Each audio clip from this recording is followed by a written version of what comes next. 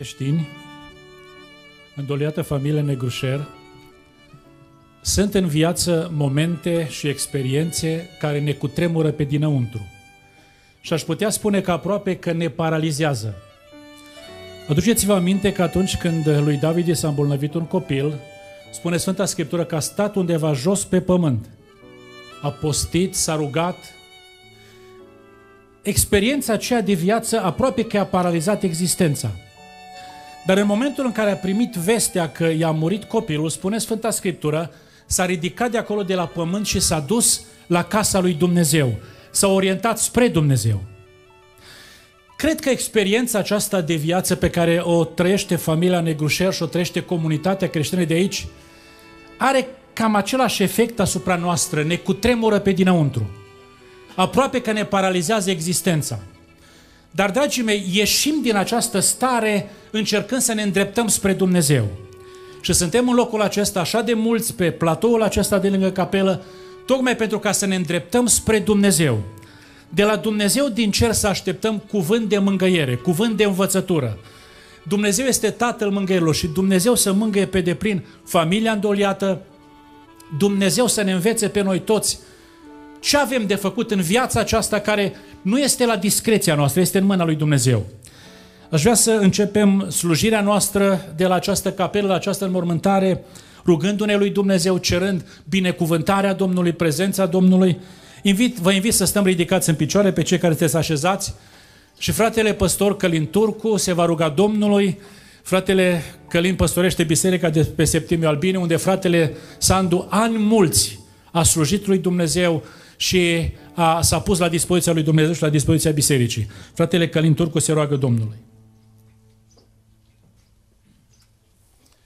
Preanalte și Sfinte Dumnezeule, cu profundă durere în suflet, durerea despărțirii, ne îndreptăm glasul spre Tine în momentele acestea și Te rugăm din toată inima, binecuvintează întreg cortegiul funerar. Binecuvintează serviciul de înmormântare care se va desfășura aici. Binecuvintează bărbații de slujbă și dă-le o ungere proaspătă prin Duhul Sfânt. Binecuvintează familia Negrușel și făi să accepte voia ta. Ca niciodată în viață, Dumnezeule, să nu fie momente când să nu-ți dăm dreptate. Întotdeauna Tu ai dreptate. Te rog frumos, mângă inimile întristate.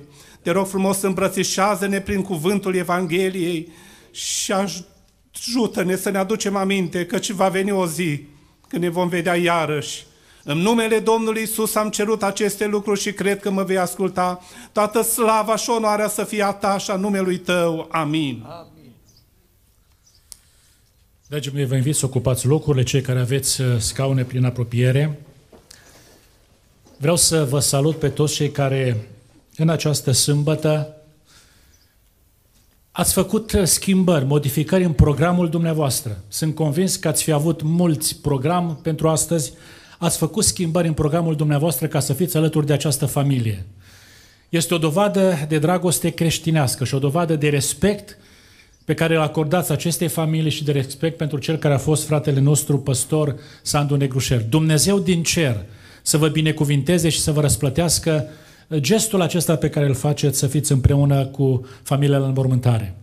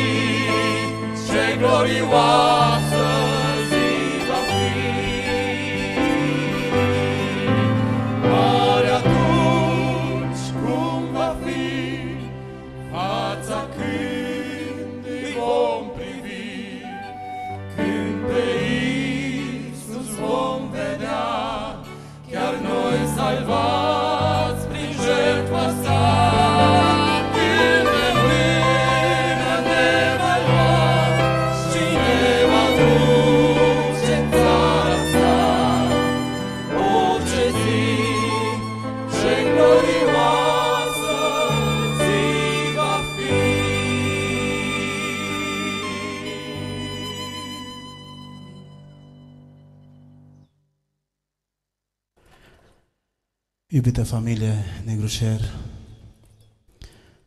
Dumnezeu să vă dea mângâiere, chiar dacă este un moment greu, avem o nădejde, are ne vedea sus în veșnicii. Dumnezeu să ne binecuvânteze.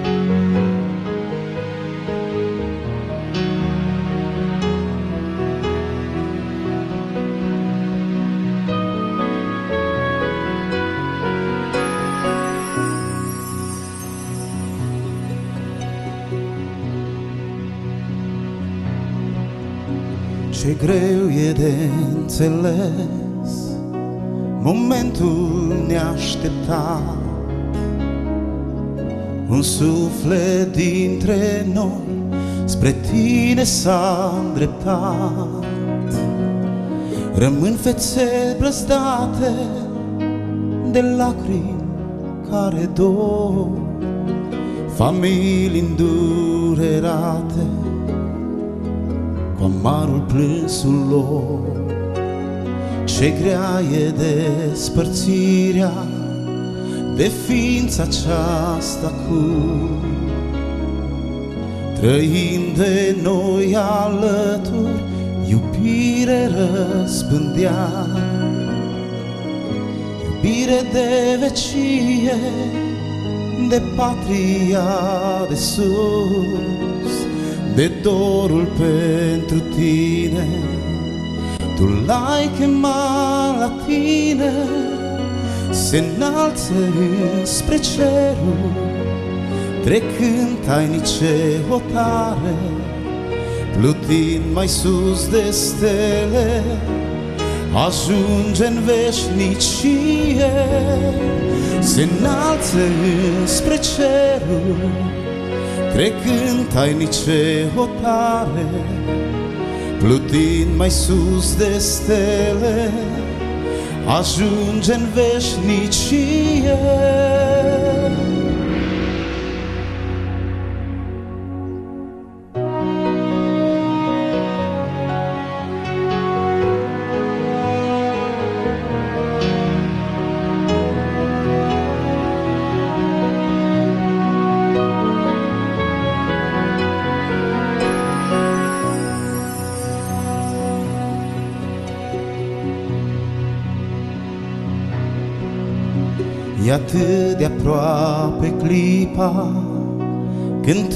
Iisuse, vii Să ștergi obrajii celor Ce încă în palme ții Amara suferință Atunci nu mai fi. Mireasa ta, Iisuse, în cer când va sosi, dar până atunci rămâne ecoul multor imnuri și razele speranței reflectă spre veșnicie, se înalță spre cerul, trecând tainice hotare, plutind mai sus de stele, ajunge în veșnicie, se înalță spre cerul, trecând tainice hotare, plutind mai sus de stele, ajunge în veșnicie.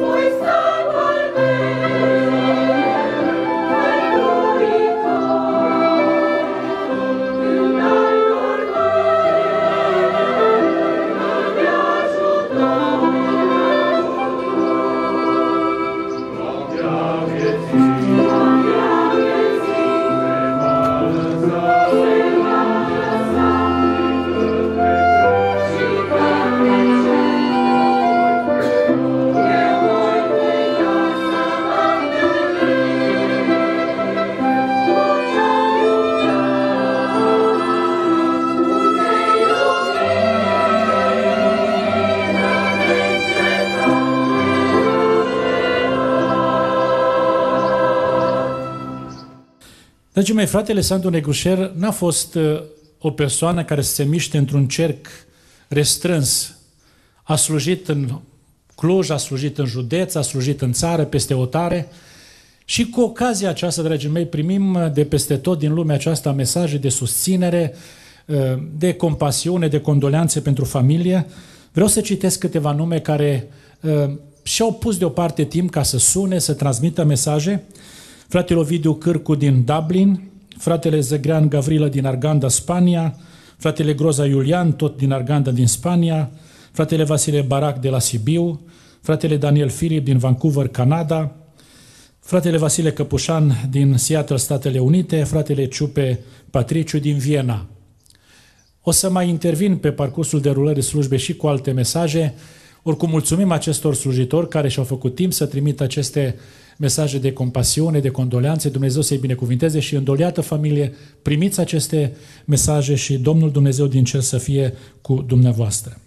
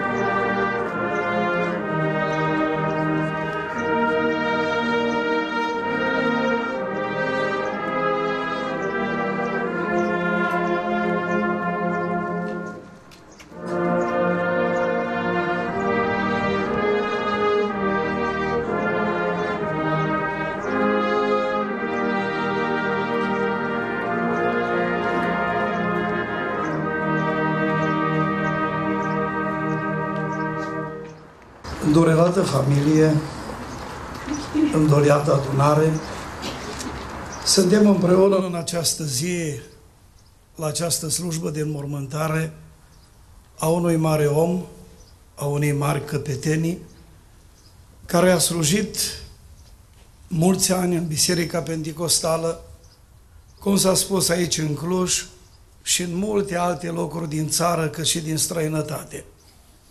Un om pe care mulți dintre noi l-am cunoscut, unii l-am cunoscut mai bine, alții mai mult, alții mai puțin. Unii l-am cunoscut ca un om care întotdeauna a avut un cuvânt frumos de spus. Mie îmi va rămâne în memorie întotdeauna modul lui în care te privea, zâmbetul acela cu care te întâmpina, vorbele acelea blânde și frumoase, chiar atunci când discutai la, cu el sau chiar când predica, acest om a fost un om pe care cu toții noi l-am iubit și am avut posibilitatea eu personal să slujesc cu dumnealui, eram tânăr, eram încă student și am putut să văd dragostea lui pentru Dumnezeu, modul lui în care se implica în slujire. Astăzi, dumneavoastră ca familie, pierdeți. Pleacă un soț, pleacă un tată, un socru, dar va rămâne în memoria dumneavoastră și în memoria noastră amintirea unui om care s-a pus la dispoziția lui Dumnezeu. Am venit să fiu alături de familie, am venit să fiu alături de Biserica Albinii, alături de slujitorii care astăzi sunt aici și sunt mulți. Unii stau aici în această adunare pentru că au un respect deosebit pentru cel care a fost pastorul Sandu Negrușer. Aduc salutări și cuvinte de mângâiere din partea Bisericii Pentecostale, Betel Sighetul Marmației, slujitorii de acolo, cât și din partea conducerii comunității regionale pentecostale, a Maramureșului și Sătmarului, mulți pastori, președintele comunității, vicepreședintele, fratele Vanciu este chiar aici cu mine, am venit, au transmis cuvinte de mângâiere pentru familie, pentru biserică, pentru noi, toți cei care suntem aici. Dragii mei, aș vrea în această zi să mă opresc la un cuvânt din Sfânta Scriptură, care să fie un cuvânt de mângâiere și pentru familie, dar și un cuvânt pentru fiecare dintre noi. Consider că e un cuvânt provocator pentru absolut fiecare din cei care ne găsim aici. Cred că majoritatea dintre dumneavoastră ați urmărit acea slujbă în care fratele Sandu vorbea despre visul acela pe care l-a avut. Cred că foarte mulți oameni s-au uitat, mai ales în zilele acestea, și visul acela i-a impresionat pe mulți, pentru că era acolo cuvinte mari, cuvinte prin care puteai să vezi un om care era pregătit pentru plecarea în veșnicie. S-a folosit de cuvântul acesta din uh, a doua epistolă, care era citit. I-am urmărit cu atenție acea slujbă, amintea frații cu care a slujit în acea zi, din 2 Petru, capitolul 2, începând cu versetul 12, unde cuvântul Scripturii spune așa, De aceea, voi fi gata să vă aduc totdeauna aminte de lucrurile acestea, măcar că le știți și sunteți stari în adevărul pe care îl aveți. Dar socotesc că este drept că voi mai fi în cortul acesta să vă țin treji aducându-vă aminte, că știu că dezbrăcarea de cortul meu va veni deodată, după cum mi-a arătat Domnul nostru Isus Hristos. Îmi voi da o steneală, dar ca și cum după moartea mea să vă puteți aduce aminte de aceste lucruri. În adevăr, v-am făcut cunoscut puterea și venirea Domnului nostru Isus Hristos, nu întemeindu-ne pe niște basme meșteșugit alcătuite, ci ca unii care am văzut noi înșine cu ochii noștri mărirea Lui. Din pasajul acesta doresc să am un mesaj pe care îl voi uh, numi printr-o întrebare. Și anume, ce este important pentru noi cât suntem în cortul acesta? Ce este important pentru noi cât suntem în cortul acesta? Observați că în Sfânta Scriptură trupul pe care noi îl avem este asemuit cu un cort. Așa îl numește aici Apostolul Pavel, așa îl numește Apostolul Petru, așa îl numește Pavel în 2 Corinteni, în capitolul 5, în versetul 1 și în versetul 2. Dacă vă uitați acolo, veți putea observa că apostolii vorbesc de trupul acesta pe care Dumnezeu ne-l pune la dispoziție pentru o vreme și îl aseamănă cu un cort. Toți știm ce e cort. E ceva vremelnic. E ceva pentru o bucată de vreme. Și în trupul acesta cât trăim, fie că e 65 de ani, fie că e mai puțin, fie că e 100 de ani, important este ce facem noi în vremea aceasta. Chiar apostolul Petru, în prima epistolă, în capitolul 4, el spune aici în versetul 2, pentru ca în vremea care îi mai rămâne de trăit în trup, să nu mai trăiască după poftele oamenilor, ci după voia lui Dumnezeu. E atât de important ca în vremea asta pe care Dumnezeu ne lasă în cortul acesta, Așa i-a asemuit trupul. Iar dacă ne uităm în epistola a doua către Corinteni, a apostolului Pavel, în capitolul 5, în versetul 1 spune, știm în adevăr că dacă se desface casa pământească a cortului nostru trupesc, avem în cer o clădire de la Dumnezeu, o clădire care nu-i făcută de mână omenească, de mână omului, ci este veșnică. Și cred că fiecare dintre noi ne dăm seama că ceea ce facem noi, câtă vreme suntem în cortul acesta, va cântări unde ne vom petrece veșnicia, să fim în clădirea din cer, să avem parte de acea casă veșnică, de acel trup nemuritor. Și când privim în viața asta de zi cu zi, sunt multe lucruri importante pe care noi le putem face. Unii vor să devină ceva.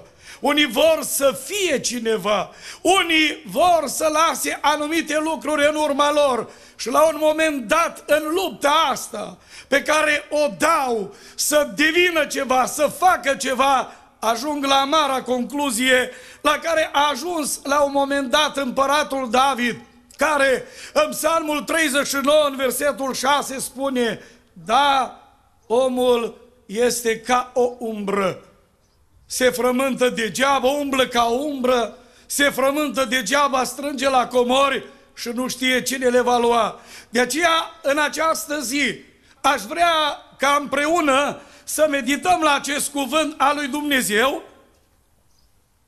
și să observăm trei lucruri din pasajul acesta pe care le consider deosebit de importante pentru noi oamenii. 1. Să facem cu responsabilitate lucrarea care ne-a fost încredințată. Să facem cu responsabilitate lucrarea care ne-a fost încredințată. Până la urmă, observați aici, în textul acesta, putem înțelege că Apostolul Petru avea o lucrare pe care Dumnezeu a încredințat-o. Lucrarea lui era să-i conducă pe oameni să poată intra în împărăția slăvită a lui Dumnezeu. Așa spune versetul 11. În adevăr, în chipul acesta vi se va da din belșug intrare în împărăția veșnică a Domnului și Mântuitorului nostru, Isus Hristos. Ei, observați, asta era menirea lui, menirea fratelui Negrușer, sarcina pe care i-a pus-o Dumnezeu pe umeri, lucrarea pe care i-a dat-o a fost să-i conducă pe oameni spre împărăția lui Dumnezeu, să le vorbească oamenilor despre mântuire, despre salvare, ca oamenii să fie mântuiți, să fie salvați. La câte evangelizări a participat? Numai la Sighetul Marmației de câte ori a venit. În Maramureș, în diferite sate, a străbătut țara cu mesajul acesta ca oamenii să se împace cu Dumnezeu. Apoi vă rog, uitați-vă lucrarea pe care a avut-o Apostolul Petru, spune, dar socotesc că e drept cât voi mai fi în cortul acesta, să vă țin treji, aducându-vă aminte. Adică un slujitor ca și Petru, de data aceasta ca fratele Sandu, a avut menirea să-i conducă pe oameni să la împărăție, spre împărăția lui Dumnezeu, dar în același timp să vestească mesaje de trezire, să-i țină pe oameni treji. Noi, ca slujitori, avem menirea aceasta, sunt mulți slujitori aici care trebuie să țină cont de acest lucru. Îmi aduc aminte de unul din poeții creștini care se adresa prin versurile lui spunând sărmani alergători spre moarte, priviți cum vă înșelați mereu, luptând pentru cununa lumii, o pierdeți pe-a lui Dumnezeu, orbiți de pate vinovate, robiți de-a timpului folos, răvniți a lumii fericire și o pierdeți pe-a lui Hristos. Și la un moment dat spune aici, treziți-vă, treziți-vă, răsună azi un glas duios, Treziți-vă, treziți-vă, treziți-vă pentru Hristos. Într-o zi ca aceasta trebuie să înțelegem că toți avem menirea aceasta, în lumea aceasta, să fim oameni treji, să veghem că Domnul Isus Hristos vine. Iar când e slujitor, trebuie să-ți faci cu responsabilitate slujba. Iar ceilalți care suntem aici, trebuie să înțelegem că pe toți Dumnezeu ne-a chemat să-L slujim. În Evanghelia după Ioan, capitolul 12, în versetul 26, Domnul Iisus spunea, dacă voiește cineva să mă, să mă urmeze, da? dacă vrea cineva să mă slujească, să-mi slujească, să mă urmeze și unde sunt eu, acolo va fi și slujitorul meu. Dacă îmi slujește cineva, tatăl meu îl va cinsti.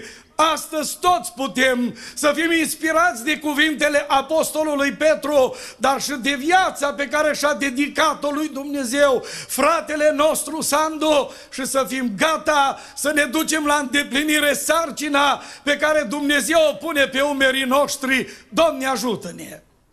Al doilea lucru pe care eu vreau să-l observăm în textul acesta, când privim la pasajul acesta și e important pentru un om cât e în cortul acesta, cât e în viață, este să avem parte de descoperiri din partea Domnului Isus.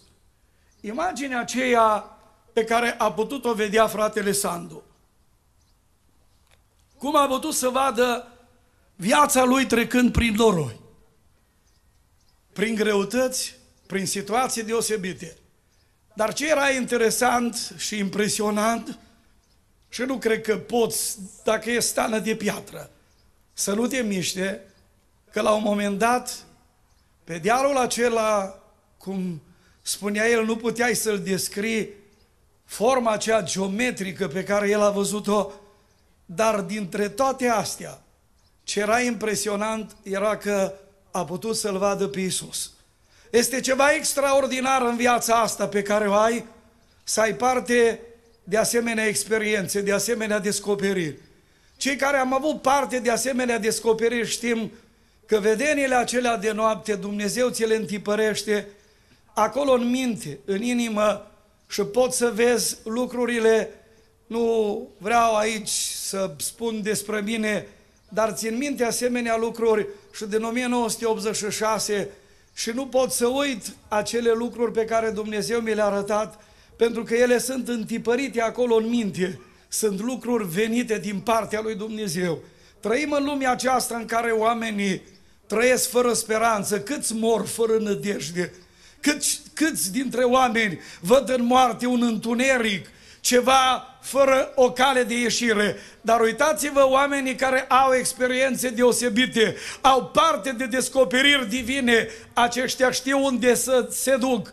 Aceasta le oferă siguranță. Uitați-vă cât de sigur este Apostolul Petru. Știu că dezbrăcarea de cortul meu va veni deodată, cum mi-a arătat Domnul nostru. Știa acest lucru. Uitați-vă, amintesc cuvintele din nou ale Apostolului Pavel din 2 Corinteni. Știm în adevăr că dacă se desface casa pe cortul, pământească cortului trupesc, avem o clădire în cer. Noi știm lucrul acesta. Suntem aici și moartea fratelui nostru ne pune absolut pe fiecare pe gânduri. Oricare dintre noi putem să plecăm, știm unde ne ducem, care va fi destinația noastră. Ați putut observa cât era de sigur și spunea cum dintr-o dată s-a întors și a mai venit spunând, nu știu pentru cât timp, noi nu știm cât suntem încă aici pe pământ, dar avem siguranța că ne vom petrece veșnicia cu Isus mi-au aminte de cuvintele lui C.S. Lewis, un fost mare ateu al Londrei și al lumii. Omul acesta la un moment dat, după ce a devenit creștin, spunea așteptarea constantă, auziți, a unei lumi de dincolo, nu este un fel de fugă de realitate, cum spun unii, nici continua omul acesta să spună, sau chiar o dorință deșartă, ci a face parte, auziți, din natura credinței noastre. Un om care are, are o relație cu Dumnezeu, îl slujește pe Dumnezeu, El știe unde se duce. Se duce să se întâlnească cu Dumnezeul lui. Doamne, ajută-ne să avem parte de asemenea descoperiri, să avem certitudinea că ne vom petrece veșnicia cu tine și în ultimul rând, după care închei. Un al treilea lucru important pe care eu îl văd este să lăsăm în urma noastră lucruri de care alții să-și aducă aminte. Lucruri bune de care alții să-și aducă aminte. Una din întrebările pe care noi ni le punem este ce lăsăm în urmă. Sora Male a cântat cântarea aceasta despre vorbim după ce am plecat. Mi-am notat aici, vorbim, vorbim din ce trăim. Și mai departe spune când drumul nostru se va sfârși, purtarea noastră va vorbi. Uitați-vă aici Apostolul Petru spune atât de clar în cuvintele acestea și o să le recitesc. Uitați-vă versetul 15. Îmi voi da o steneală, dar ca și după moartea mea, să vă puteți aduce aminte de aceste lucruri. Ce ne aducem aminte? Un exemplu de trăire a unei vieți de credință. Știți cât de important e. Și spre fratele Sandu se poate privi. A lăsat ceva în urma lui. Un exemplu. Dorz într-o poezie de-a lui spune, om, ce mare răspundere ai de tot ce faci în lume. De pildă ce la alții o dai, că cea mereu pe mult spre iad sau rai, mereu o să iei îndrume. Slujitorii mai lasă ceva în urmă și spuneau unii frați, am urmărit aseară slujba live și spuneau cum știa să mângâie, cum știa să vorbească. Și mulți dintre noi recunoaștem că poate nu avem tactul acela, dar m-am gândit și m-am oprit la cuvintele apostolului Pavel și apoi mă apropii de încheiere. Când îi se adresa lui ă, tesalonicenilor și în capitolul 2, o să citesc doar aici câteva cuvinte de la versetul 9. Vă aduceți aminte, fraților, de osteneala și munca noastră, cum lucram zi și noapte ca să nu fim sarcina niciunuia din voi și vă propovăduiam Evanghelia lui Dumnezeu. Voi sunteți martori și Dumnezeu de asemenea că am avut o purtare sfântă, dreaptă și fără prihană față de voi care credeți. Știți iarăși că am fost pentru fiecare din voi ca un tată cu copilul, vă sfătuiam, vă mângâiam și vă adeveream să vă purtați într-un chip vrednic de Dumnezeu care vă cheamă la împărăția și slava sa.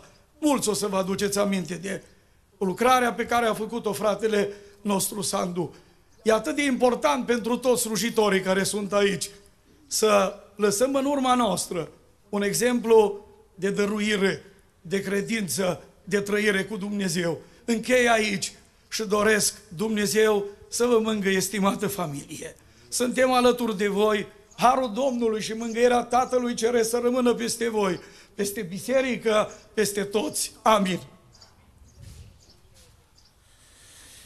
Mulți ani de zile am slujit împreună cu fratele Sandu Negrușel în departamentul pentru bisericile din diaspora ale cultului creștin penticostal din România. Având această responsabilitate, am bătut împreună Europa în multe locuri, dar a fost o vreme în care fratele Sandu s-a ocupat în mod special de biserica din Grecia, din Atena. De acolo, de la biserica din Atena, fratele Ieremia, păstorul bisericii, trimite condoleanțe și este alături de dumneavoastră, stimată familie, Domnul Dumnezeu să vă binecuvinteze. Imediat după ce vestea aceasta că fratele Sandu a fost chemat de Domnul acasă, s-a răspândit și s-a răspândit foarte repede, m-a sunat de la ora de fratele Ilie Jolța, păstorul fratele Ilie Jolța, este președintele Casei de Pensie a cultului creștin pentecostal din România.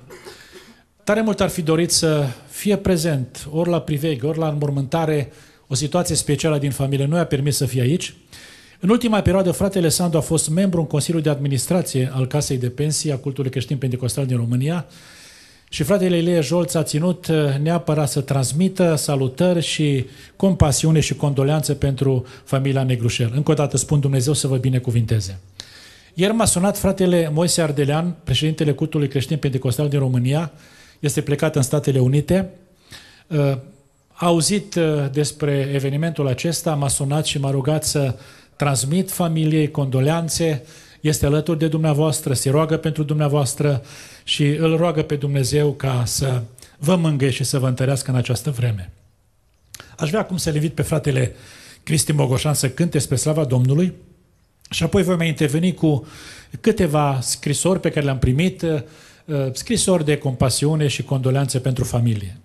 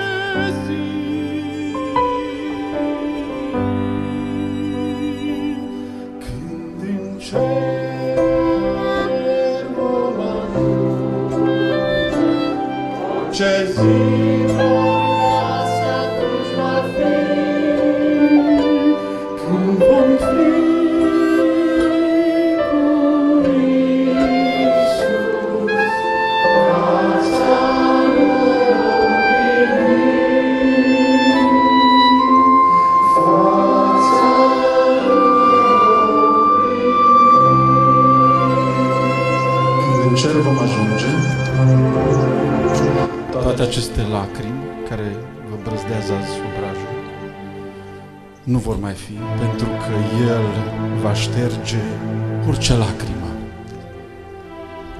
Nu va mai fi suferință, nu, mai va, nu va mai fi boală, nu va mai fi durere, pentru că moarte nu va fi. Când în cer vom ajunge, va fi pace, va fi pace, neprihănire și bucurie în Duhul Sfânt.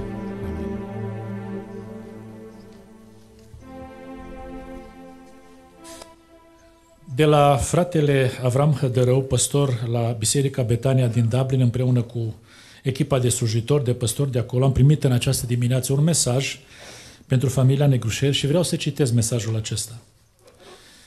Dragă familie îndoliată, stimați frați slujitori și audiență, vă rugăm să primiți aceste gânduri de îmbărbătare tocmai de la marginea Europei, de pe insula Irlandei, pentru că influența caracterului fratelui păstor Sandu Negrușer a ajuns până la noi aici.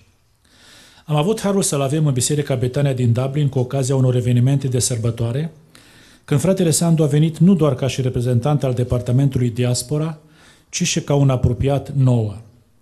Calmul, răbdarea și atitudinea de respect pentru fiecare persoană pe care o avea în față ne-a marcat, dar și, dar ne-a și lăsat un exemplu de slujire. Dumnealui ne-a stat la dispoziție nu doar când a fost în vizită, ci și de fiecare dată când l-am solicitat pentru un sfat, ni l-a dat ca și un părinte.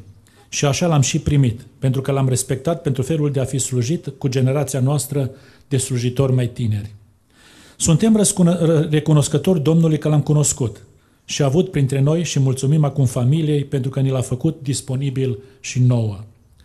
Noi nu îl vedem acum pe fratele Santu, de aceea pentru noi va rămâne în continuare în amintire ca un slujitor credincios, om al păcii și încurajării, care tot timpul avea fața senină și zâmbetul pe buze, care ne molipsea pe toți.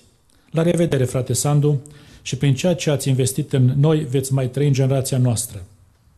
Cu multă prețuire și respect, frații păstori Avram Hădărău, Valerian Jurgea, Călin Onițiu. Aceasta este echipa de păstori de la Biserica Betania din Dublin. Dumnezeu să vă binecuvinteze familie Negrușel. Am primit un alt mesaj de la familia Danciu din Statele Unite ale Americii, Sânducu Danciu, și a intitulat mesajul acesta așa, Omagiu pentru tati Sandu Negrușer. Ca un fulger, vestea plecării în veșnicia celui ce a fost preiubitul Domnului Sandu Negrușer a brăzdat nu numai miriadele pământului, ci și cerul îmbrăcat în sărbătoare. Aud și acum ecoul cuvintelor care i-au fost, i-au fost revelate lui tati Sandu cu aproape 8 ani în urmă. Citesc cuvintele lui. În fața mea s-a deschis o ușă imensă. Am auzit glasul unei mulțimi ca un voie de ape multe, din care am distins clar vocea fratelui Lazar din Borhanci. El a anunțat, Pășește, frate Sandu Negușel, să-l primim cum se cuvine. Au urmat strigăte de bucurie a unei mulțimi în sărbătoare. Am încheiat citatul. Sunt convins că însuși Domnul Isus l-a primit cu brațele deschise și cu, un, și cu un bun sosit acasă. În Evanghelia după Luca, în capitolul 1, versetul 23, găsesc imaginea geamănă dintre preotul Zaharia și preotul Sandu Negușel. După ce i s-au împlinit zilele de slujbă, Zaharia sau tati Sandu s-a dus acasă. Tati Sandu s-a dus acasă după o întâlnire cu Dumnezeu. Versetul 11. Întâlnire care a atins inima încă din frage de copilărie. Tati Sandu s-a dus acasă după o perioadă de slujire lungă și bogată, nu numai când i-a ieșit la sort să tămâieze, ci neobosit ziua și noaptea, pe fric și ploaie, cu suferința provocată de diagnosticul cancer, la evangelizări în țară și în afara granițelor României, împlinind porunca Domnului până la marginile pământului. Tati Sandu s-a dus acasă după rugăciune ascultate, versetul 13. În sinceritatea și smerenia lui nu a întrâmbițat minuni pe care Dumnezeu le-a făcut prin el, ci a lăsat ca toată gloria să fie a lui Dumnezeu și el să rămână în umbră. Tati Sandu s-a dus acasă făcând semne într-una, versetul 22. Nu mai poate vorbi, dar ecoul vorbelor rostite vor rămâne săpate în inimile noastre ale tuturor. Mă doare după tine, tati Sandu. După vârstă era rândul meu să, aș- să te aștept dincolo. De acum știu că încă un erou mă așteaptă acolo, unde furtuni nu exista. Ai plecat prea devreme după calculele noastre omenești. Ceva foarte scump și prețios s-a rupt din mine și l-ai luat cu tine.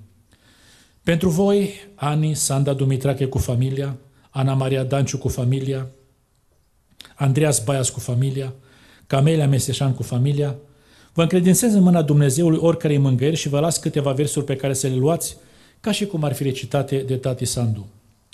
Mă duc să dorm puțin la sânul odihnitor din care sunt, precum adorme grâul toamna la sânul caldului pământ. Am să mă întorc când tot pământul de grâul sfânt va fi înverzit și cerul nou va fi veșmântul ospățului sărbătorit. Mă duc numai puțin deoparte să odihnesc un ceas, apoi, în dimineața fără moarte, cu Domnul voi veni la voi. Fiți binecuvântați, Sandu și Lidia Danciu cu familia. Și mai am încă un mesaj pe care îl citesc, este de la fratele păstor Deac Viorel de la Bistrița. Și fratele Viorel Deac spune următoarele. De-a lungul a peste 39 de ani de slujire, de activitate pastorală, fratele Negrușel Alexandru a fost un adevărat model de slujire și trăire creștină, un slujitor devotat lui Dumnezeu. Spiritul său blând, zâmbetul nelipsit de pe chip, profunzimea spirituală, modestia, sinceritatea și dorința de dialog au fost elemente definitorii ale slujirii sale. A avut certe calități de lider spiritual, adunând în jurul acelorași principii creștini din toate mediile. De fiecare dată căuta să dreagă spărturile din zid, să recupereze ce se poate recupera și să arate fără echivoc că jertfa lui Hristos a săvârșit pentru ca biserica să fie unită și desăvârșită. Sfaturile lui pline de înțelepciune m-au determinat să-l respect, să-l apreciez și să mă inspir din modul lui de slujire, atât ca pastor, dar și coleg în cadrul Comunității Regionale Pentecostale Cluj, unde a activat ca secretar.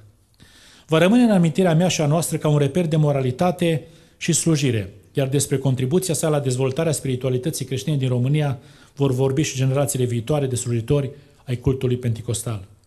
Pe finalul gândurilor mele vreau să spun din toată inima că mă consider binecuvântat pentru faptul că drumurile mele s-au intersectat cu afretul lui Negrușer Alexandru, amândoi provenind din localitatea Maieru, județul Bistrița, că am împărțit slujirea în multe ocazii, că ne-am încurajat reciproc în încercări asemănătoare și că am împărtășit aceeași nădejde a revederii cu Domnul nostru Isus Hristos. Din toată inima doresc ca Dumnezeu să mânghe pe soranii, copiii, nepoții care rămân cu o bogată zestre spirituală de la fratele Sandu. Avem credința că ne vom întâlni cu cei ce au plecat din familii la cea mai mare sărbătoare a celor credincioși ce au urmat calea adevărului. Odihnește-te, frate Sandu, în așteptarea răspătirii. Ferici de acum încolo de morții care mor în Domnul, da, zice, Duhul ei se vor odihni de ostenile lor, că faptele lor îi urmează. Dumnezeu să vă binecuvinteze. Fiecare slujitor a încercat să spună cuvinte frumoase. Oricât de multe s-ar spune, tot nu s-ar epuiza. Îmi rămâne, frați și surori, uh, vie amintirea celui zâmbet molipsitor. Mă duc aminte când s-a, când s-a îmbolnăvit prima dată și a fost internat la spital lângă uh, parcul central al orașului. M-am dus să-l vizitez într-o zi, am vorbit la telefon și ne-am dat o oră când să ne întâlnim, să coboare jos, să stăm de vorbă, nu puteam să intru la el în, în salon. Și m-am așezat pe o bancă uh, la marginea parcului să stau să uh, îl aștept. A apărut dintr-o dată la geamul salonului cu zâmbetul acela pe buze. Uh, avea cancer. Știți, cineva zicea că zâmbetul este ca ștergătorul de parbriz. Nu oprește ploaia, dar îți permite să-ți vezi de drum. Zâmbetul lui Sandu nu i-a oprit încercările vieții dar i-a permis să meargă înainte în viață. Uh, îmi va rămâne uh, asta și multe altele de la fratele Sandu. Uh, Dumnezeu să vă binecuvânteze pe toți.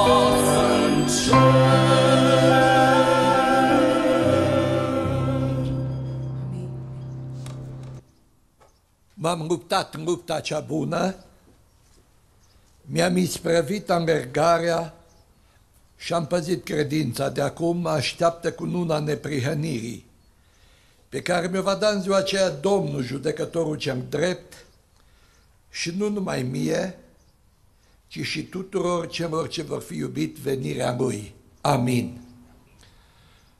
Stimată sora Ani, stimate fiice, gineri, nepoți, suntem aici, în straie cernită, și aș putea să spun că adunarea noastră e o sărbătoare de Domnul. Dar îmi place să cred că într-o altă lume, într-o altă dimensiune și în alte condiții e tot o sărbătoare, dar nu în straie cernită. Încă un învingător s-a dus acasă. Încă un amergător a ajuns la capătul pistei. Încă unul care a luptat a biruit în numele Domnului Isus Hristos. Și încă unul care a păzit credința s-a prezentat înaintea Domnului.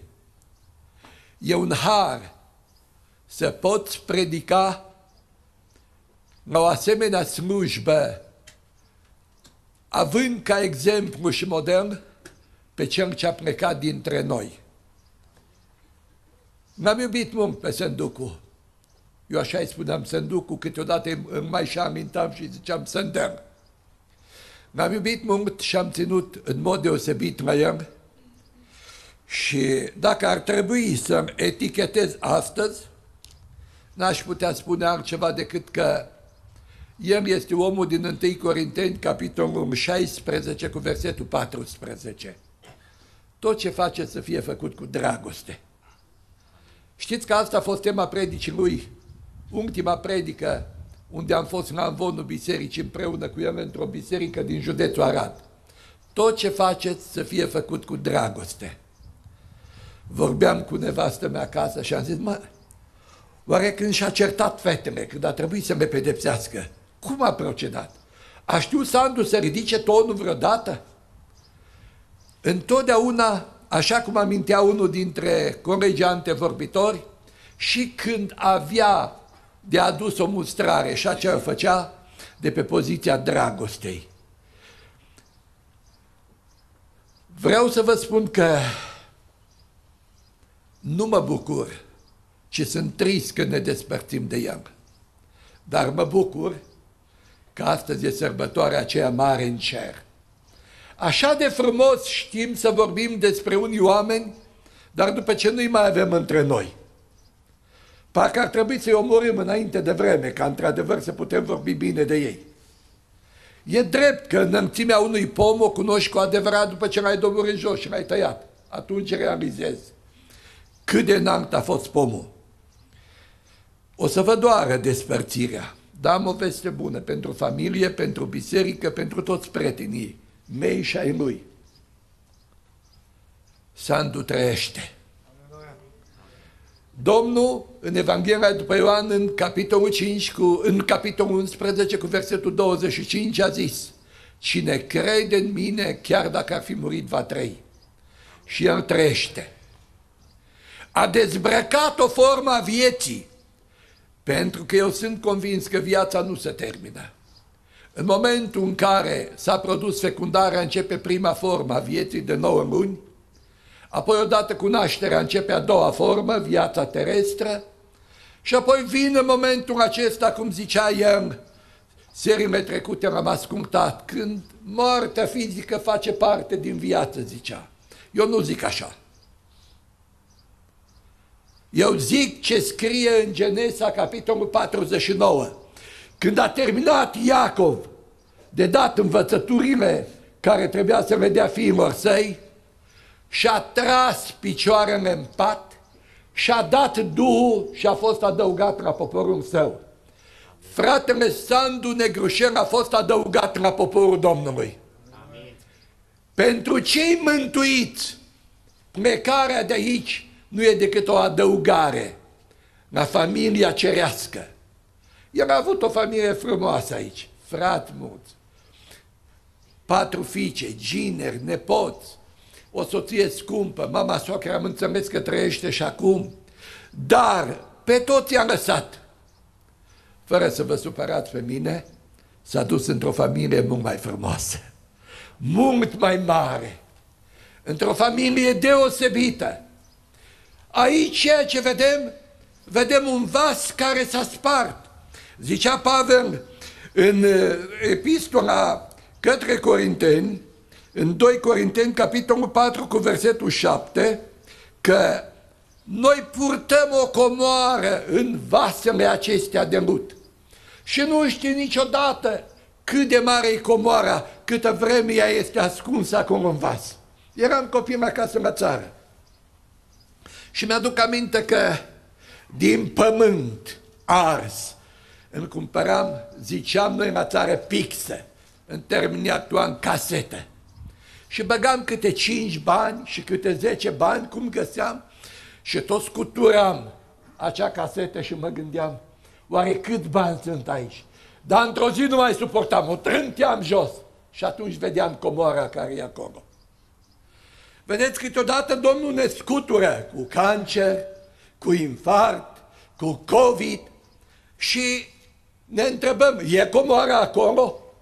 Auziți, semnalele după care cunoști că ai încă comoara înăuntru. Seninătatea pe față și când medicul zice cancer, să poți zâmbi, cum spunea fratele Relu aici, de la geamul spitalului, să vorbesc cu el și să-mi spună, mulțumesc Domnului, cred că toate trec, am vorbit cu el la telefon de mai multe ori, poate că uneori v-am și obosit soranii cu telefoanele, de atâtea ori am spus să-mi duc unde continuăm să ne rugăm.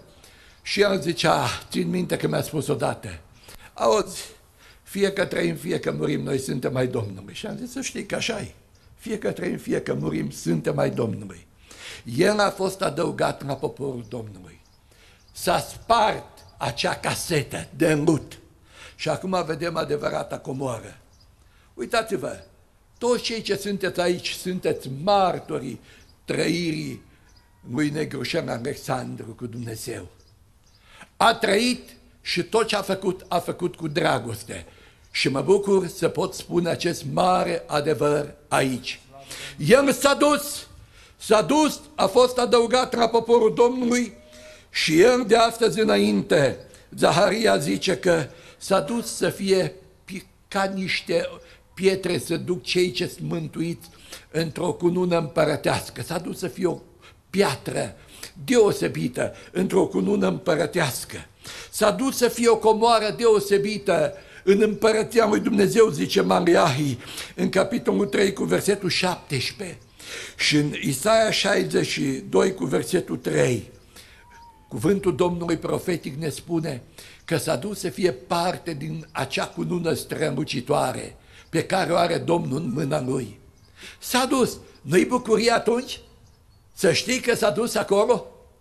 Că plângem e adevărat, vărsăm lacrimi, dar nu suntem ca cei ce n-au nădejde. Noi regretăm că ne despărțim, dar despărțirea e pentru o vreme. Noi credem că într-o zi vom fi cu toți Sfinții Domnului și cei frumos că vom fi cu Domnul Isus Hristos.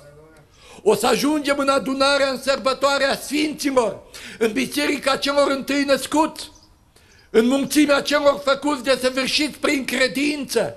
O să ajungem în ceata răscumpăraților și o să-i vedem pe fiecare față în față și vom zice și ăsta e rodul jertfei Domnului Isus.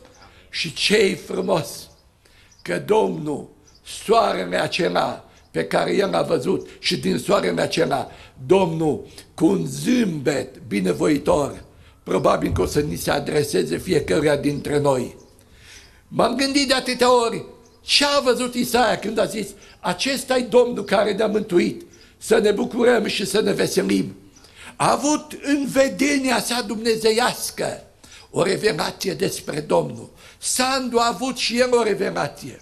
Și aș putea să vă spun mai mulți frați, chiar din cei ce sunt aici, care au avut revelații și au înțeles că plecarea de aici nu e altceva decât o adăugare la poporul Domnului. S-a dus în casa de dincolo. Pavel zice, chiar dacă se desface casa pământească a cortului nostru trupesc, avem o clădire în cer de la Dumnezeu, o casă care nu-i făcută de mână, ci este veșnică. Trupul acesta, oricât de bine s-ar ținea, îmbătrânește. Caseta, oricât de frumoasă e, se învechește și simți nevoia să o eliberezi comoara din ea. El, într-adevăr, și-a desfăcut casa pământească. Dar comoara și valoarea există. E sărbătoarea cerească. El pleacă de acasă și s-a dus acasă. El a plecat de aici, lăsându-și familia și a ajuns în familia de dincolo. El a plecat să fie pentru totdeauna acolo unde boală nu-i cum s-a cântat, unde virus nu sunt, unde nenorocire nu-i, unde moarte nu-i, pentru că Domnul a venit ca oile lui să aibă viață și să aibă din belșug, mărit să fie numele Domnului. Cu atâta siguranță Pavel zicea, m-am luptat lupta cea bună, mi-am isprăvit alergarea și mă așteaptă de acum cu nuna că am păzit și credința. E un har tot ce faci, să faci cu dragoste, crezând în puterea mântuitoare a Domnului, că într-adevăr o să-i vezi rezultatele și repercusiunile pe deplin când vei ajunge să fii ca Domnul. Că zice Ioan, când se va arăta El, vom fi ca El, pentru că îl vom vedea așa cum este. El s-a dus să fie ca Domnul și va fi într-o zi în strălucirea și în slava cerească pe care Domnul a zis, mă duc să vă pregătesc. Și după ce vă pregătesc locul acela, am să mă întorc să vă iau cu mine, ca acolo unde sunt eu, să fiți și voi. Să surpă temeriile vieții. Așa este. Citim în psalmul 13 că într-o zi să surpă temeriile vieții. Dar ce face cel neprienit atunci? Și zice în Proverbe, capitolul 14, cu versetul 32, că cel neprihănit și atunci trage nădejde. Pe cum să nu trage nădejde? Eram pe patul de moarte în 1987. Cancer, au zis medicii și au scris cu mâna lor. Gicu Stan, care ne salută din cer, probabil acum, m-a dus la academicianul Tomescu, aici în Cluj, să mă consulte. Nu mi-au dat mari șanse. Unii și-au permis să dea pronosticuri diabolice și să-mi stabilească și data morții. Și mi-aduc aminte că într-o dimineață a venit mama și a zis, mami, azi noapte, toată noaptea m-am rugat. Și azi dimineața am vorbit cu Domnul Isus. Mi-a spus să nu te tem de nimic. Băiatul meu cel mai mic avea trei ani și jumătate. Și eu mă rugam și ziceam, Doamne, atât aș vrea să-l văd măcar pe ăsta cu buletin. Și după aia ia-mă când vrei. Și mama mi-a spus, Domnul mi-a spus că nu numai copilul ăsta o să-mi ții în brațe. Și copiii o să ții în brațe. Și băiatul meu astăzi este pastorul Bisericii Eclesia, a fost pe aici în biserică la voi pe Albine, acum nu de mult. Și vreau să vă spun că ce zice Domnul aceea se împlinește. Ce-mi neprihănit și în fața morții trage nădejde. Nădejde pentru că prin desfacerea trupului, prin dezbrăcarea hainei trupești, noi ne ducem în cer și am scăpat de cancer, am scăpat de chinuri, am scăpat de gemete, am scăpat de toate vitregiile vieții de aici și ne ducem să avem o stare asemănătoare cu a Domnului Isus Hristos. În 2 Corinteni, capitolul 5, cu versetul 4, Pavel atestă acest mare adevăr. Apoi, când plecăm din lumea aceasta, ne ducem la odihnă. Am înțeles că fratele Sânducu a fost un slujitor neobosit și după anul 2013 l-am chemat de mai multe ori și a venit la Arad și a fost în județul Arad și l-am întâlnit și în alte localități. Ne-am întâlnit în localitatea Maieru, ne-am întâlnit odată la Rodna, ne-am întâlnit la Bistrița, ne-am întâlnit în diferite locuri, pentru că avea un de lemn în vas și vrea să-mi consume pentru Dumnezeu. Când ai un de lemn în vas, nu poți fi indiferent. Când Duhul lui Dumnezeu e acolo, te mișcă. Când într-adevăr Dumnezeu te-a chemat la o lucrare, nu stai cu mâinile în sân. Trebuie să lucrezi. Pentru că vine o zi când toată lucrarea se încheie. Dar nu numai atât. Zice Obade, atunci cum ai făcut așa ți se face? Faptele tale se vor întoarce asupra capului tău în versetul 15. E foarte important să lucrăm și să lucrăm câtă vreme putem. Să lucrăm și să lucrăm până la capăt. Amin. Alergătorul a alergat, Pavel a alergat pe pistă până la capăt. Și a zis, acum mi-am isprăvit alergarea. Noi nu am fost mandatați de Dumnezeu să ne angajăm în acest cross pentru a alerga 200-300 de metri, ci pe toată lungimea pistei vieții trebuie să alergăm. În 86, când au fost campionatele în uh, Seattle, se spune că la un moment dat, uh, când s-a crezut că totul s-a terminat și că și amergătorii și-au încheiat și-au ajuns la linia de sosire, cineva a anunțat că unul e căzut acolo pe pistă. S-au dus imediat cu emergența, l-au luat de acolo și l-au întrebat, dar cum? Dacă ai simțit că ți-e rău, curgea sânge din gura lui, curgea sânge din nasul lui, era într-o situație foarte critică. De ce nu te-ai retras? De ce nu te-ai oprit? Și el cu un zâmbet pe față a zis, țara mea m-a trimis aici nu să încep o cursă, ci să sfârșesc, sfârșesc o cursă. Dumnezeu ne-a trimis aici nu să începem cursa, să sfârșim cursa să lucrăm până la capăt și să poți într-o zi să spui, da, Doamne, acum mi-am încheiat amergarea, am păzit credința, am luptat împotriva păcatului și m-am luptat în mod deosebit să seamăn ție cât mai mult. Știu că mă așteaptă cu luna. Când pleacă un neprihănit al lui Dumnezeu. El se duce și scapă de chin, de dureri, scapă de toate, se duce la odihnă și aude vocea din psalmul 116 cu versetul 7. Întoarce-te suflete la odihna ta, că Domnul ți-a făcut bine. Pentru Sandu plecarea a fost un bine. Pentru noi despărțirea doare. Dar țin minte când fratele meu a plecat prima dată în Statele Unite, știți cum se pleca? Se trecea prin Dunăre, se trecea printre glonțe. Și mama atât de tracasată a fost și atât de chinuită, ca într-o seară să primească telefonul și să audă vocea lui și să-i spună, mamă, să fii liniștită că totul e bine. Am ajuns și sunt bine. Și biata mamă, șapte zile a postit și a mulțumit Domnului că e bine. Vreau să vă spun că Sânducul e bine. Vreau să vă spun că Gicu Stan e bine. Vreau să vă spun că avem atâția colegi, chiar dacă au trecut prin pandemie în veșnicii, dar sunt bine. Și cei neprihăniți nu se sperie în fața morții. Cel neprienit, când vede că îi se surpă temeriime, el știe că are nădejde în Dumnezeu care i-a făcut o făgăduință.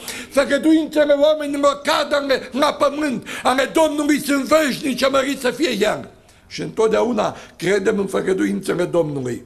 Prin plecarea de aici, când suntem adăugați la poporul nostru, plecăm de acasă și ne ducem în altă casă. Dacă se desface casa pământească cortului trupesc, avem o altă casă. Și am dus să fie într-o altă casă. Casa asta e insalubră. Mai zice medicul cancer, mai zice medicul infarct, mai zice medicul mai știu eu ce și atâtea insalubrități avem în casa asta. Dar dincolo e o casă, zice Pavel, care nu-i făcută de mână, ci este veșnică. Și în casa aceea s-a dus pastorul negrușer Alexandru. Atunci când plecăm de aici, ne ducem pentru încununare. Să fii încununat, să-ți dea cineva, vă uitați că șeful statului acordă distincții, decorații, îi decorează pe unii și, Doamne, câtă vârvă se face și ziarele și prese acum, uite, și a fost decorat, și ăla, și a primit mai știu, steaua României, cea mai înaltă distinție și extraordinar. Dar într-o zi să stai în fața Domnului, să-ți pună cu mâna pe cap și să zică, bine smurgă bun și credincios. Indiferent cât de grea a fost boala, indiferent cât de mare a fost neputința, tu nu te-ai dat bătut. Tu te-ai ridicat și ai mers înainte. Indiferent cât de grea a fost amergarea, te-ai dus până la capăt pe pistă și n-ai obosit. Ei, Pavel a zis, eu știu că mă așteaptă cu nuna. Doamnelor și domnilor, oameni buni, vreau să vă spun că Domnul vă pregătește cu nuni. Important este să acceptați în viața voastră, să acceptați ca Domn și Mântuitor, pentru că fie că vrem, fie că nu vrem, vasul se sparge într-o zi, pomul cade într-o zi, fiecare avem o pătrățică pe care o lucrăm, spuneam nu de mult la o altă mormântare. Și vine ziua când Domnul te ia, dar te uiți în urmă și te întrebi, oare mi-am lucrat pătrățica care mi-a dat-o Domnul? Oare responsabilitatea care am avut-o, am înțeles să mă achit de ea? Pentru că timpul trece iute și noi zburăm. Prin moartea fizică, prin plecarea de aici, prin adăugarea la poporul Domnului, suntem întregitorii familiei cerești. Și cu noi se întregește familia cerească. Noi ne ducem și cei frumos că ne ducem înaintea Domnului. Mi-aduc aminte, m-am văzut pe Paul aici, am fost într-un moment de fericire la căsătoria ta și a Andrei, dar Paul mi-aduc aminte că am fost și la mormântarea tatălui tău. Și țin minte și atunci când fratele Baia s-a plecat dintre noi, că printre altele am spus că ori de câte ori merge un slujitor al lui Dumnezeu, se duce și are destinația pe care a avut-o Domnul Isus când s-a dus în cer.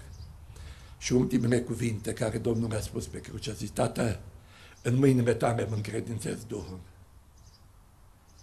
Unde e mai bine ca în brațul Domnului? Cântăm cântarea. În brațul lui Isus, eu de frică nu știu. În brațul lui Isus doresc mereu să fiu. În brațul lui Isus puterea mă ținea. În brațul lui Isus stânca mea. Ajuns în brațul Domnului Isus Hristos. Sufletul meu stă liniștit lângă Domnul, zi David, ca un copil înțărcat lângă mama lui. Un mântuit al lui Dumnezeu stă lângă Domnul și stă în brațul Domnului, având atâta siguranță în el. Astăzi am tot curajul și îndrăzneala să spun că aici sunt rămășitele pământești a unuia care a încercat tot ce face să facă cu dragoste. A dezbrecat prima haină, a dezbrecat și a doua haină. Și de acum este îmbrăcat în haina ceea cerească, asemănătoare Domnului. Când se va arăta El, vom fi ca El. Orice am spune despre Sânducu astăzi, poate că nu putem să acoperim toată aria lui de activitate și istoria vieții lui. Dar hai să ne întrebăm fiecare. Dacă mâine va trebui să stau eu pe catafang sau tu, ce s-ar putea spune despre tine? Profetul Amos zice în capitolul 4 cu versetul 12, pregătește-te să te întâlnești cu Dumnezeul tău. În fiecare zi mai facem un pas către punctul terminus a vieții. Să ne pregătim. Dumnezeu să ne ajute. Sărbătoarea de aici o vom încheia. Sărbătoarea în cer nu știu când se va încheia. Cred că niciodată. Acolo va fi o sărbătoare a sărbătorilor și un ospăț continuu. Sărbătoarea de aici este o sărbătoare cu lacrimi și care lasă durere. Când vom ajunge în cer, când în cer vom ajunge, s-a cântat, când în cer vom ajunge, toate problemele se vor schimba. Va fi o sărbătoare datorită dimensiunii noi pe care vom avea acolo, o sărbătoare influențată în mod deosebit de atmosfera aceea divină. Și eu mă rog Domnului să ne ajute tuturor să putem ajunge acolo. Să mângâie Domnul pe sora Ani, să mângâie Domnul fiicele, ginerii, nepoții, să mângâie Domnul biserica și să nu uităm. Aduceți-vă aminte de mai mari voștri. Și priviți la felul lor, la sfârșitul lor de viețuire, la felul lor de trăire. Tot ce faceți să fie făcut cu dragoste. Amin. În urmă cu câteva minute am primit un mesaj pe telefon din partea comunității teritoriale de Italia și vreau să citesc, vă rog să-mi permite să fac lucrul acesta. Mulțumim Domnului pentru că l-am cunoscut pe fratele Sandu, un om cu suflet cald și frumos înaintea Domnului. Lucrarea din diaspora are o bună continuare și datorită implicării dumnealui. Prin vizitele care, pe care le-a făcut în Italia ne-a încurajat și ne-a întărit credința. Cerul i-a mai bogat cu un sfânt. Rugăciunea noastră se înalță spre Domnul să întărească și să mânghe pe cei din familie care rămân în urmă și să mânghe biserica de pe strada Septimii Albine. Cu prețuire și dragoste frățească, Dănuț cu președintele Comunității Teritoriale Pentecostale Italia. Primiți, stimată familie Negușel, și aceste cuvinte frumoase din partea Comunității Teritoriale de Italia.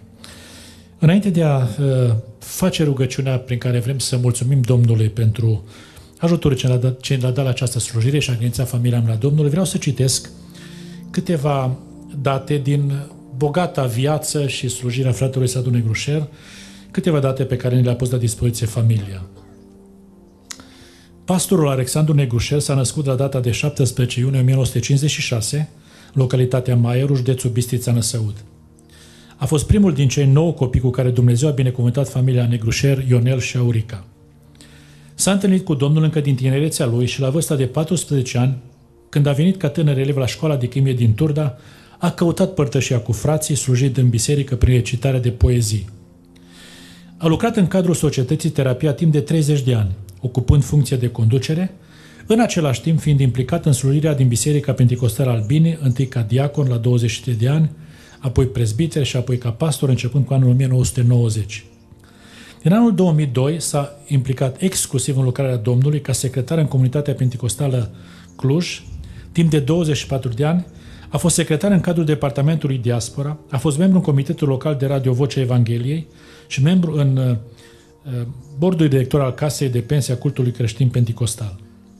În frumoasa zi de 22 iulie 1979 se căsătorește cu Ani, având o căsnicie fericită timp de 42 de ani. Sorani, uh, Dumnezeu să te binecuvinteze în momentele acestea când uh, poate că amintirile te năpădesc, amintirile celor 42 de ani te năpădesc, Dumnezeu să te mânghe, să te întărească și de acum înainte, uh, când Sandu lasă locul gol în familie și în viața ta, Dumnezeu să fie mereu prezent și ocrotitor și mângăitor. Cei doi au fost binecuvântați cu patru fiice, Sanda cu soțul Florin și copiii Sara, Emma și Mark, Ana Maria cu soțul Daniel și copiii Matthew, Summer, Brandon și Jeremiah, Andreea cu soțul Paul și copiii Filip și Hana, Camelia cu soțul Adrian și gemenii Luca și Liam. Dumnezeu să vă binecuvinteze fiice cu soții voștri, cu copiii voștri, să vă mânghe în aceste momente complicate și să stați aproape de mami. Chiar dacă sunteți la distanțe, împrăștiați, cine știe pe unde, stați aproape și rugați-vă unii pentru alții ca familie unită ce ați fost, rămâneți uniți și pe mai departe cu speranța unei reuniri în împărăția glorioasă a lui Dumnezeu. S-a bucurat de 15 nepoți pe care i-a iubit mult și cu care a petrecut momente prețioase în toți acești ani, fiindu-i alinare în ultima perioadă de suferință. Acum, la momentul pe care în veșnicie rămân în urmă cei șase frați cu familiile lor, Nelu cu soția Maria, Vasile cu Lena, Tinu cu Tina, Pavel cu Vali, Petică cu Dana, sora Ica cu soțul Uțu, cumnata Rodica și cumnatul Pavel, fratele Valer și sora Cheța fiind deja plecați la Domnul. Rămâne în urmă socrul Grigore, de 91 de ani, și cei 13 cumnați și cumnate cu familiile lor. Cumnatul Grigore cu soția Valerica, Gusti cu Victorița, Iacob cu Mariana, Isaac, Nelu cu Tiții, Iosif cu Dana, Nicu cu Iluș, Betty, Debora cu Marius, Lenuța cu Ionuț, Simona cu Cornel și cumnata Liana, cumnata Floarea fiind plecată la Domnul. Rămân cuscrii din America și cei din România, care au fost prieteni apropiați, toți nepoții care au fost atât de dragi și toate rudele de aproape sau de departe, prietenii, colegii de slujire, frații din biserică în care a slujit cu multă dăruire, vecinii de care s-a bucurat și pentru care a avut respect, și toți cei cu care a petrecut momente frumoase împreună de-a lungul anilor. A fost un părinte spiritual cu un suflet mare și cu un zâmbet cald. Având o inimă plină de dragostea lui Dumnezeu, a primit în casa lui șapte dintre cumnații care au venit la școală în Cluj, orfan fiind de mamă. A trăit aproape de nevoile celor pe care îi slujea și știa să aducă cuvinte de încurajare pentru cei care îi cerau sfaturi și îndrumarea.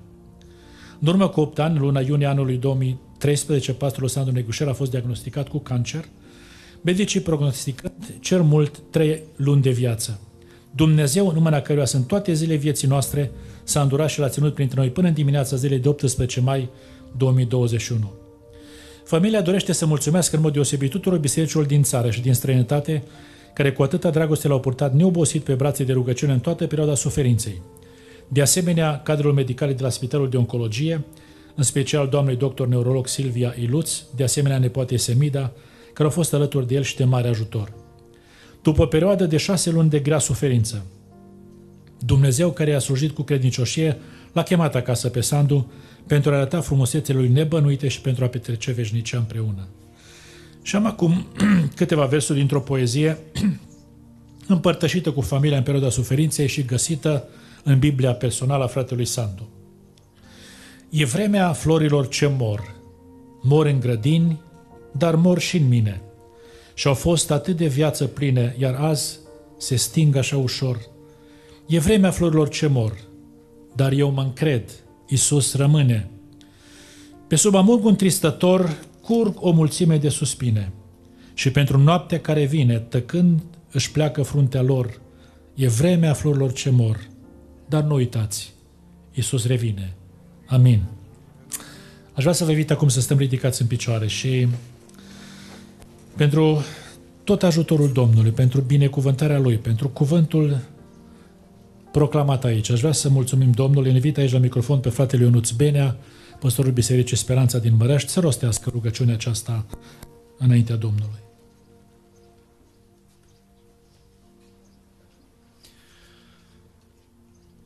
Tatăl nostru care ești în ceruri, stând aici în jurul familiei îndurerate și ascultând cuvintele care s-au rostit cred că toți cei care suntem aici am simțit o uriașă lipsă. Am realizat cât de mare este pierderea pe care o resimte familia, o resimt cei dragi, o resimt colegii de slujire din conducerea Bisericii Albinii, o resimt colegi de slujire din țară, credincioși care au fost atinși într-un fel sau altul de slujirea fratelui Sandu. Și în același timp, Doamne, toți am simțit o prezență puternică în locul acesta. Prezența Duhului Tău celui Sfânt. Doamne, prezența Duhului Tău, mă rog să fie peste familia îndoliată. Noi ne vom risipi din locul acesta, fiecare la lucrurile noastre, la alergarea de fiecare zi. Dar te rog, într-un mod special, Duhul Tău cel Sfânt să-i asiste pe cei a căror inimă este durută și vor simți durere și dor în zilele care vin. Mângâie-i Tu, Doamne, așa cum doar Tu știi mângâia. Încurajează-i, Doamne, și atunci când vor avea nevoie să audă șoapta Duhului Tău, fă să fie vie în inimile și în mințile lor, Doamne, îi încredințăm în brațul Tău. Doamne, pilda de slujire a fratelui nostru Sandu, care a știut să zâmbească cu acel zâmbet larg și cu acea inimă mare în care au încăput toți. Te rog să ne ajuți să o reproducem, cei care rămânem în slujire. Și mă rog locul rămas în slujire, odată cu plecarea lui, umple-l tu cu om destoinic și vrednic pentru împărăția ta și pentru lucrarea ta. O, Doamne, Tată drag, Mă rog pentru întreaga asistență, cei care suntem aici sau cei care privesc online. Doamne, cuvântul Tău cu adevărat să rămână în inimile noastre. La plecarea, la despărțirea din locul acesta, o pildă de viață vrednică de urmat și cuvântul Tău care a răsunat în auzul nostru să lucreze în viețile noastre apropiere de Tine, pentru că nu știm care dintre noi urmează. Important este să fim pregătiți. Ajută-ne la lucrul acesta, Doamne Iisuse. Amin. Amin.